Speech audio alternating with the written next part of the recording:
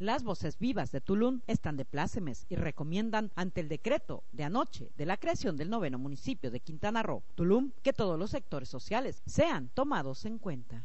Se unan para una, buena integración de lo que va a ser el Cabildo en el 2009. ¿no?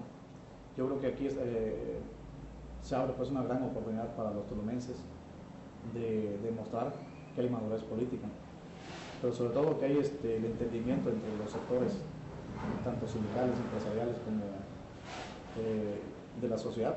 Consideramos que el Congreso del Estado debe ser un Congreso que incluya a todos los, los actores políticos que tenemos en la comunidad de Tulum, a todos los líderes que forman parte de los sindicatos.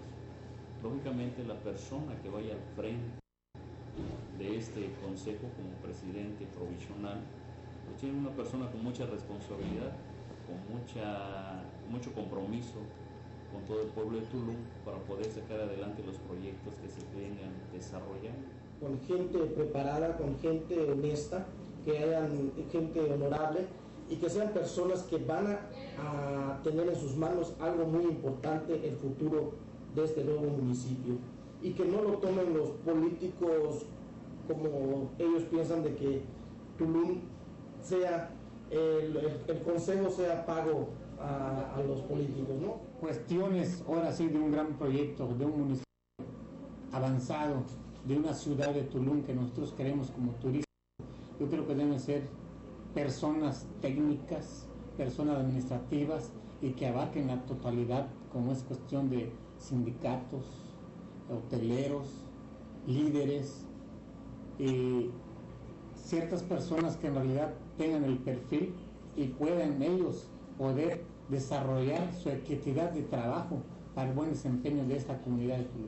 Realmente nos sentimos muy, muy Yo creo que viene siendo una respuesta de la demanda de todos los ciudadanos en común y en general. Esa demanda que, que se, se, traduce ¿no? en algo beneplácito para Tulum, la ciudad de Tulum, porque realmente Tulum algo importante para nosotros, ya que como, como comerciantes, como obreros, eh, en todos los sectores, requerimos ¿no? de que Tulum se inviertan los recursos necesarios para el desarrollo integral que vaya encaminado ¿no? a un desarrollo como un municipio modelo.